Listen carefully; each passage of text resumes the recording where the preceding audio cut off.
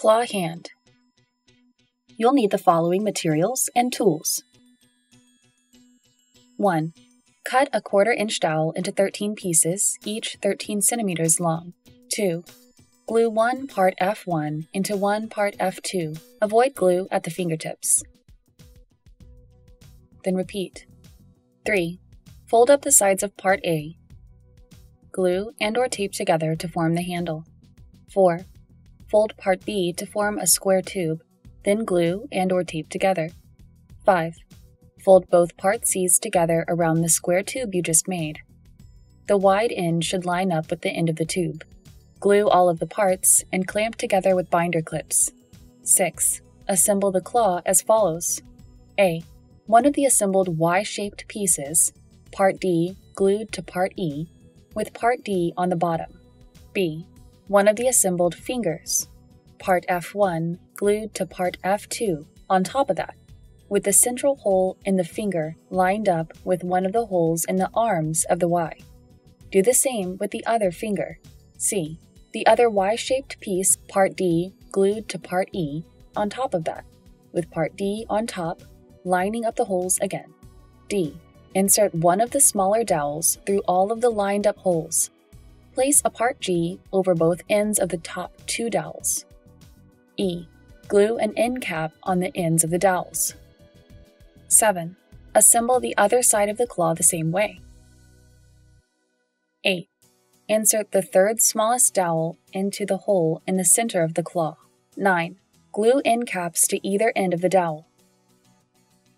10.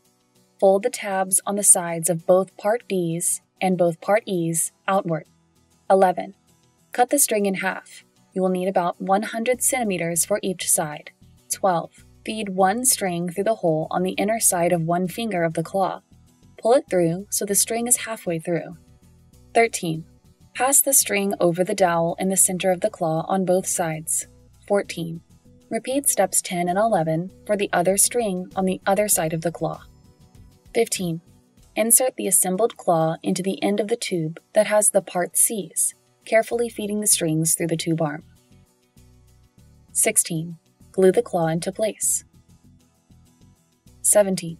Cut each rubber band to form two lengths. 18. On one side of the claw, attach the rubber band to the hole on the outside of the claw finger and the hole in part C on that side. The rubber band should not be loose or tight. 19. Repeat for the other side. 20. Attach the handle to the other end of the tube arm. The string should feed through the top of the handle and hang down by a few centimeters. The handle should be perpendicular to the claw. 21. Tape the handle in place. 22. Feed the longer dowel in the slots in the sides of the handle. 23. Glue end caps to either end of the dowel. 24. Figure out which end of the strings go together. 25. With the claw upside down, the dowel will rest at the top of the slot. In this configuration, tie the ends of both strings so that they form a snug loop around the dowel. 26. Fold the fingertips apart and affix the adhesive pads. Now you're ready to use the claw hand.